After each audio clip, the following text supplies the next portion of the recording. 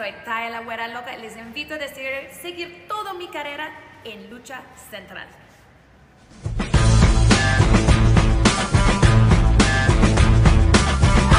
Pues estoy muy contenta porque pues ahorita ya tengo un objetivo, ya tengo una empresa a quien representar, entonces estoy muy contenta de que sea mi segunda ocasión en Impact. Pues estoy un poquito molesta por el resultado, pero reconozco que ganó bien, entonces no me queda más que aceptarla. Eh, pues no pude levantarme para felicitarla, ni moda si es esto, pero en la otra ocasión voy a venir por ese campeonato. Keira, ¿esperas más presentaciones en Impact este año?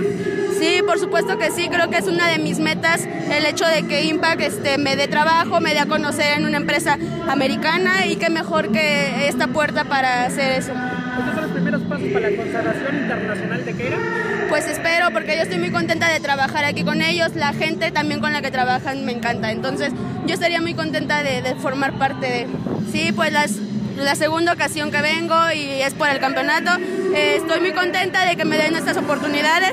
Creo que me las he ganado y empiezo mi 2019 con el pie derecho. Sí, pues me encantaría. Estas son experiencias que tengo que vivir para el día de mañana que pues se me dé la oportunidad por el Reina de Reinas poder saber llevarlo y traerme ese cinturón conmigo. Habías mencionado en, en, anteriores ocasiones que vas por el campeonato Reina de Reinas, pero ¿por qué no soñar también por el campeonato de las knockouts de Impact? Pues también me encantaría, te repito, eh, si Impact está contento de trabajar conmigo, pues yo encantada de, de poder disputar el campeonato y de que tengan nueva campeona pues es muy raro para mí porque eh, de la carrera que llevaba de independiente pues nunca había firmado con una empresa y había estado de lleno. Ahorita es la primera empresa con la que estoy, entonces pues estoy muy motivada de, de llevarme el campeonato, de tener nuevas rivales, nuevas, este, nuevas rivalidades también.